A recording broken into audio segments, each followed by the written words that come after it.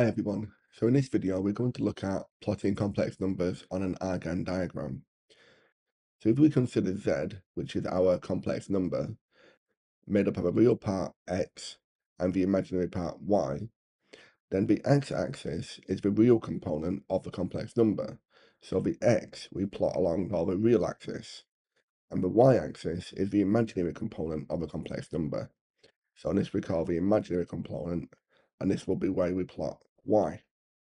So in example 1, show the complex numbers Z1, Z2 and Z3 on an Argand diagram. So we can see from Z1, we've got a real part of 3 and an imaginary part of 1, or 1i.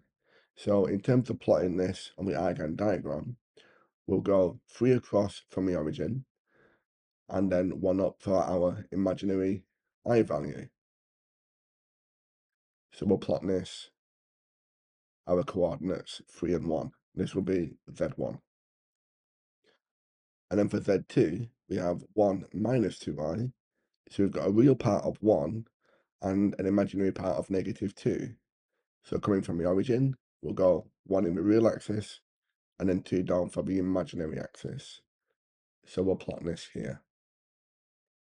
And we'll call this z2.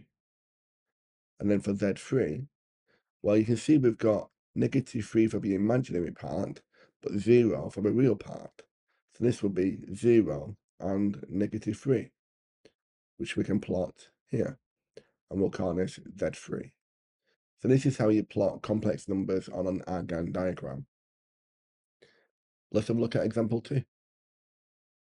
So in example 2, we're given three complex numbers, Z1, Z2, and Z3, and we've been asked to show Z1 plus Z2 on the Argand diagram. So we'll say Z1 plus Z2.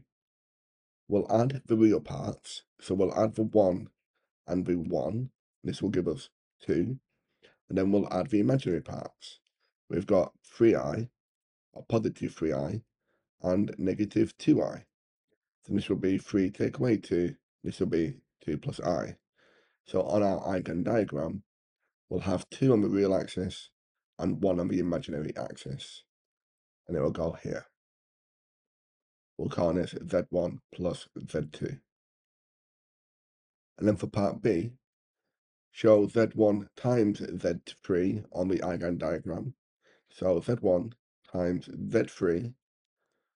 We've got Z1, which will be 1 plus 3i, and Z3 minus 1 minus i. So if we expand out these brackets, we've got 1 times the negative 1, so negative 1. 1 times the negative i, so negative i. And then we've got the negative 3i. And finally, we've got 3i times negative i, which is negative 3i squared. But if we think about what's going on with this negative 3i squared, we've got negative 3 times i, which is the square root of negative 1, all squared. And the square root of negative 1 squared, the square and square root will cancel. So this will give us positive 3. So we'll have a negative 1 plus this real component of 3, so 2, and then negative i minus 3i, which, which will give us negative 4i. So on our Argand diagram, it'll be a coordinate of 2 and negative 4. This will be Z1 times Z3. Okay?